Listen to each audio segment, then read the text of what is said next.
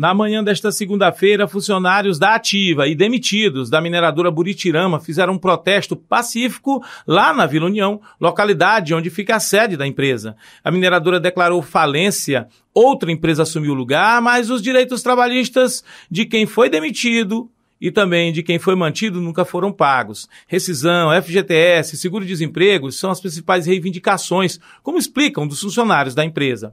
Bom dia, João, da nossa reportagem. Nós estamos aqui reunidos numa manifestação pacífica em busca de quê? Em prol de quê? Dos nossos objetivos, dos nossos direitos de trabalhador. Aqui se encontra pai de família desde de 5 meses até 20 anos de empresa. Então, infelizmente, nós fomos as pessoas colaboradoras que injustavelmente nós fomos tipo as pessoas rejeitado tanto pela empresa Buritirama como a Geribá e a Lastre que tomou a responsabilidade.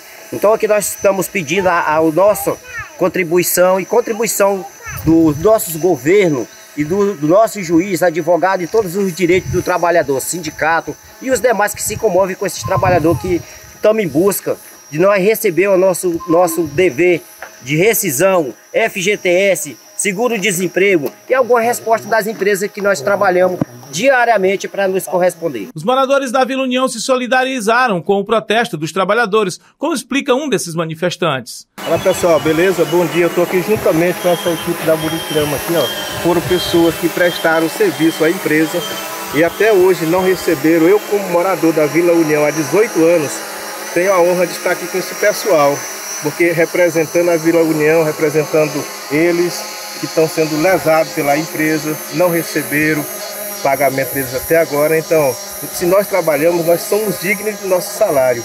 Por isso eu estou aqui junto com cada um deles, representando, apoiando aqui na Vila União. Eu, como morador, vejo como caiu muito a renda aqui dentro da vila.